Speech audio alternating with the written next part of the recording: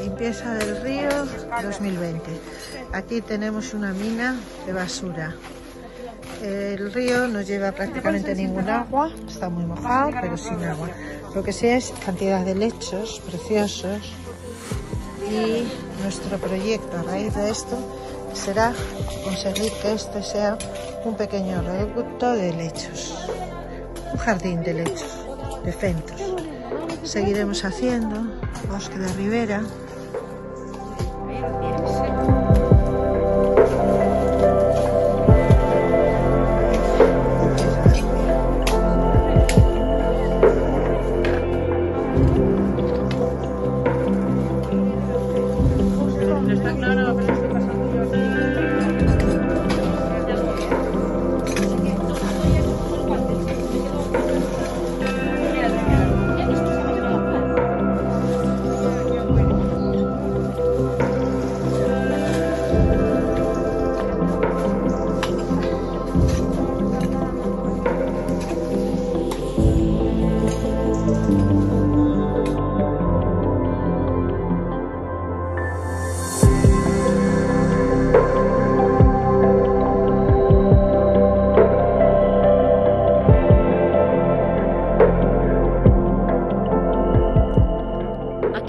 Estamos no mallate polos ríos.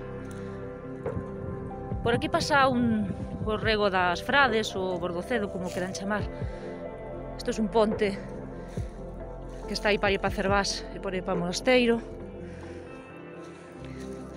Tivemos que sacar varias cousas toda por esa zona, estamos cansadísimas. A verdade é que necesitamos máis axuda, por favor.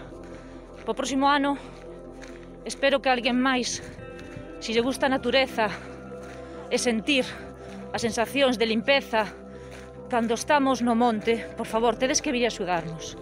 Eso todo que sacamos. Coas nosas más, con noso esforzo.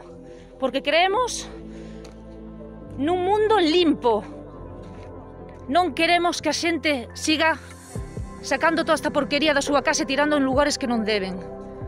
Por favor, respetado medio ambiente. Sen naturaleza non somos ninguén. É un aplauso pola xente que veu aquí a traballar.